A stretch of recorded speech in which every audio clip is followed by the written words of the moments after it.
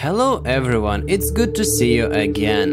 Fayum portraits, these amazing works of art, often called icons prior to iconography, are not just historical treasures. They can serve as a magnificent and impressive illustration of the mutual penetration of cultures. Fayum portraits were created for the burial rituals in ancient Egypt during Roman rule in the 1st to 3rd centuries AD.